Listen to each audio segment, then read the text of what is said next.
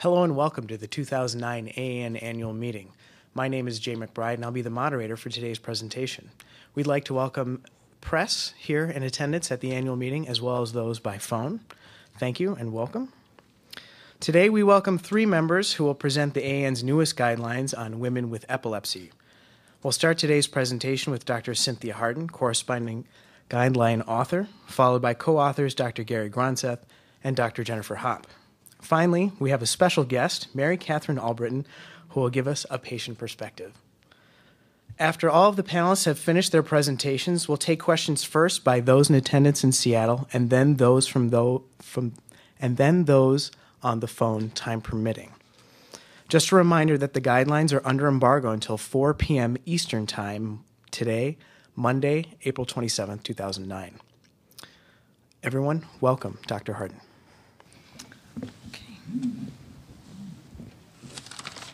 Thank you so much for being here today.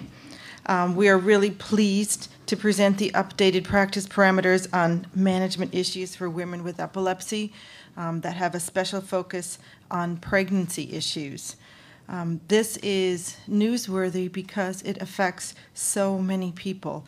There are an estimated half a million women with epilepsy in the United States who are of childbearing potential.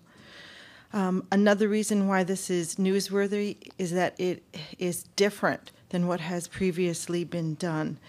This update is the first time that this topic has been looked at using the American Academy of Neurology methodology for um, developing uh, strong conclusions and recommendations for uh, practice management. This methodology involves looking at all of the evidence and synthesizing it to come up with our best conclusions and recommendations for managing women with epilepsy and this has not been done previously. So this is the update. Um, further, uh, this update was prompted by a lot of new information that has emerged since the last update over the last 10 years.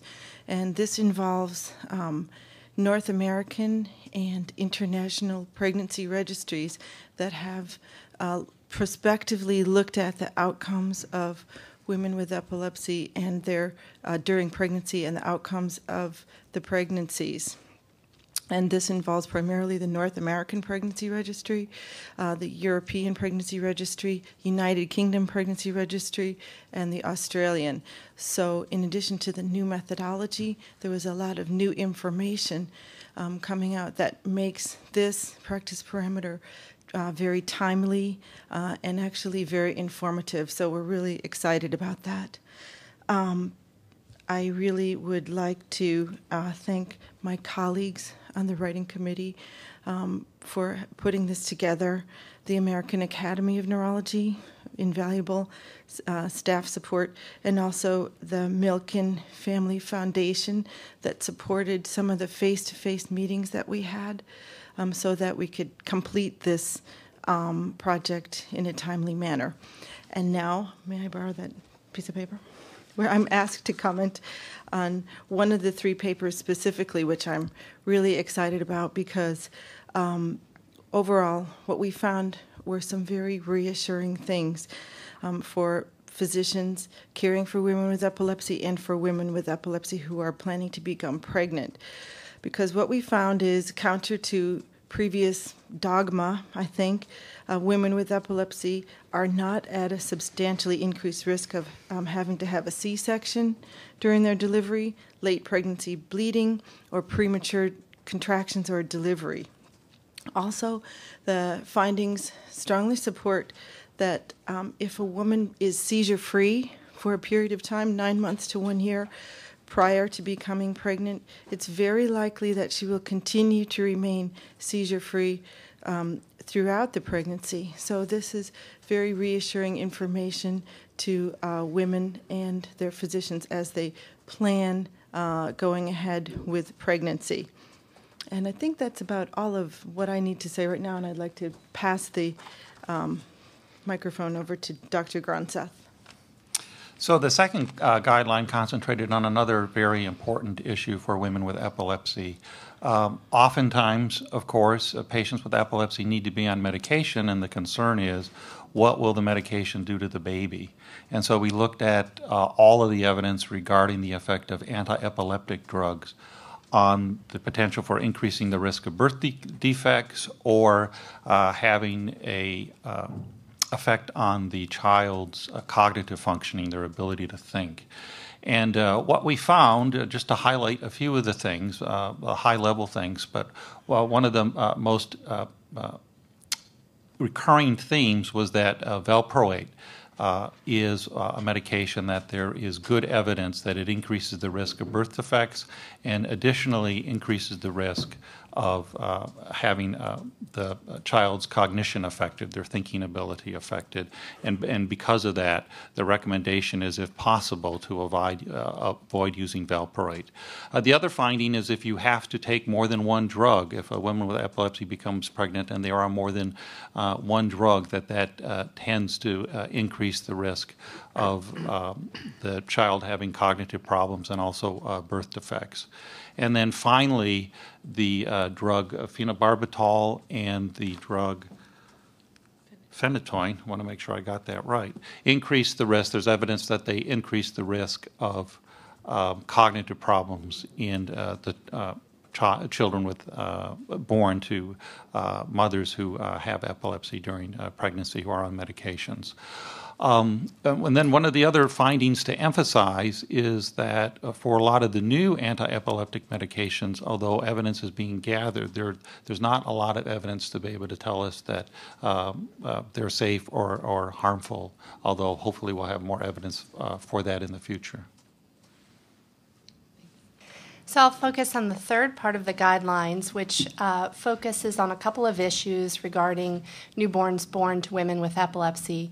One of the first relates to the taking of folate, folic acid supplementation during pregnancy, the clinical impl- implications of taking anticonvulsants uh, with regard to transfer of the anticonvulsants across the placenta and into breast milk and thirdly, any changes in anticonvulsant levels during pregnancy uh, uh, with regard to women with epilepsy. So, what we found is that folate given in the preconception period to women with epilepsy um, may help decrease the risk of birth defects in women with epilepsy taking anti epileptic drugs. In addition, it was found that the use of enzyme inhibiting anti epileptic drugs should not increase the risk of hemorrhage in newborns who get vitamin K intramuscularly at birth, uh, which um, may be advised by physicians. We also found that anticonvulsant drugs uh, are seen in the breast milk in varying levels, um, particularly those uh, with regard to primidone and levetiracetam may be seen at significant levels in the breast milk, um, whereas others may not be seen at such high levels. And finally, um, and maybe most importantly with regard to clinical context, pregnancy has been seen to, to decrease the levels of these anti epileptic drugs in women with epilepsy taking certain anticonvulsants during pregnancy because we know that seizures may worsen if these levels drop to below 65% of the, the preconception level. Um, this may be something um, that needs to be monitored. So uh, it has been thus recommended that all women of childbearing potential should take at least 0.4 milligrams of folate at a preconception um, through pregnancy who are taking anti epileptic drugs. And in addition, because there's evidence that these anti epileptic drug levels may change during pregnancy and this may lead to increased seizures, monitoring of these levels should be advised. And I'm here to speak on the patient perspective. Um, I have a three year old little girl and an 18 month old little boy who are perfectly healthy.